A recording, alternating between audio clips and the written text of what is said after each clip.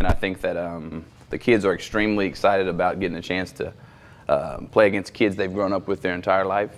And just the challenge. It's a, it's a good district. There's a lot of parity in our district. I think every Friday you got to come to play. Every team will probably say the same thing. So we're extremely excited about the opportunity talk about some of the guys. I know one guy that pops off on the film for me is Bryce Lane mm-hmm. on the offense. He's a strong runner. Mm-hmm. He's going to hit somebody in the mouth. I really right. like him. What are your thoughts on him?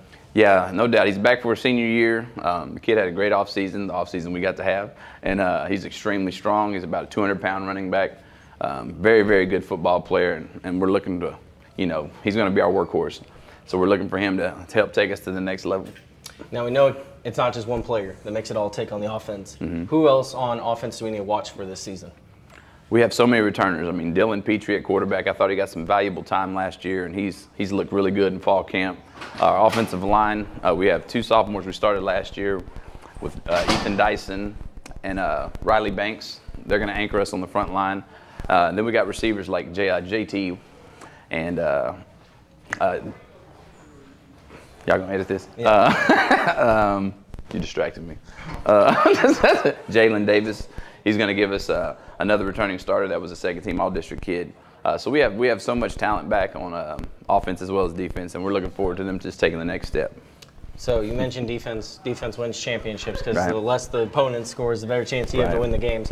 Right. Defensively, you've got a really good middle linebacker coming back. He's mm-hmm. going to lead the unit. Talk about him and then other guys that are going to be around him. Uh, Bryce is our coach on the field. We run a, uh, a defense that puts a lot on him to get us lined up, to make the right calls. So uh, he keeps us uh, sound and lined up right. And he's who I communicate with on the field. Uh, we have a D line, D lineman, all district players coming back, and Jaden Gilbert and Richie Rodney. Um, a, a, returning corner, a second team all district player, and Ariel Hector. Um, so we have some really good pieces. It's just now about going out and playing and, and uh, proving our worth. So you went three and seven last year. Mm-hmm. When you look back at last season, were there some games where you were like, man, we could have been four and six, five and five, Absolutely. six and four? For sure. We uh, we were three and seven, and we lost three games by one score. So you. Well, that's all we've harped on on the uh, in the off season. You know, we, our motto in the off season was sow your seed, reap the harvest. Um, so we're going to try to do the little things right. So hopefully those one score games turn into our favor. We could have easily won six games, but we didn't. And so we're going to try to look to improve this year. All right. He's Shannon Carter. He is the leader of the Goose Creek Memorial Patriots. Coach, best of luck this season. Can't wait to see what the Patriots can do. Thank you. Appreciate you guys having us.